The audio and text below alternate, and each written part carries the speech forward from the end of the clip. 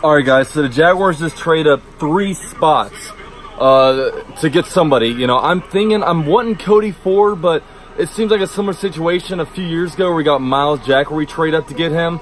Um, could it be an Irv Smith at tight end? We have Kevin Hardy up announcing this pick. Let's see what we got, man. I wonder what we gave up.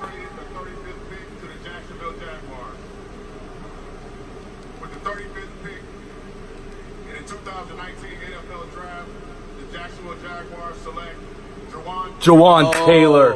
Oh my gosh, this is this is just like a few years ago when the Jaguars traded up to get Myles Jack, a guy that was mocked to go to the Jaguars so in so many mock drafts, and all of a sudden a medical knee kind of thing drops him out of the first round. We get Jawaan Taylor, who was a top projected like number one tackle in the draft. Like this is nuts, and you know this is this is a guy where you know, he had an interesting, like, kind of career because he was about 390 pounds coming out of high school.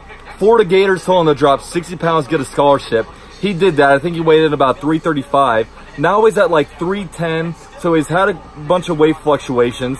You know, he was in a, he's a guy when I watched him on film, I really liked him, uh, but not in the top 10. I didn't think he was a top 10 value, but second round, dude, I will take that every single day. You know, he's the guy, he's super powerful. Um, he's good on an island when it comes to uh, defending against, you know, outside rushers. He's he's just nasty in a run game. I mean, he can push players all over the place. Very, very smart. I mean, when it comes to, like, combo blocks, like, he knows exactly when to release and go to the second level. He also, you know, knows immediately how to recognize if the outside uh, rusher is coming in. Also, they drop back in coverage. Um, he knows to immediately who to go to. He's a guy that he probably has a little bit too many penalties.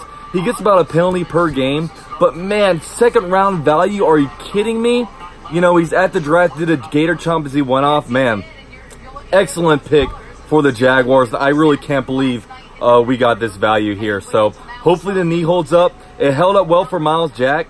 He hasn't missed a game. Jawaan Taylor's been healthy all throughout his Florida career. And what a pick, man. What a pick. I really like this. And um, the Jaguars making moves, man. Let's go. I'll see you guys maybe in the third round. We'll see. But I will be live reacting to any other pick tonight. Peace out, guys.